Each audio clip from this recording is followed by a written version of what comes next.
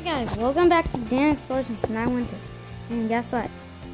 I am going to make logos for my shirt, and this is the front of the shirt. So I just wanted to explain this to you.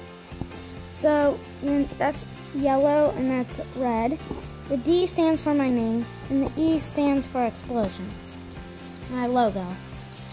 So then the next thing, the back of the shirt. It has explosions with fire around it. I didn't do that good drawing with fire around it. But then it'll probably be bold or I don't know. But then next thing is, I forgot what they're called, but you put them on the back of your phone and you hold them like that. I ha I have one on my phone. Well, I, well, I kind of want one on my phone. I don't really have one, but that's what I wanted. So then the next thing is, I got a fidget spinner, and the fidget spinner, I don't know, wait, I should have read what color. How about, guys, you just make your own fidget spinner any color. How about the fidget spinner can be any color, and that can be um, any color. And the explosions one can be any color, so, what, yeah.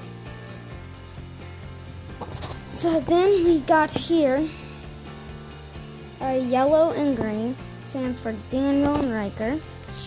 That's the front of the shirt.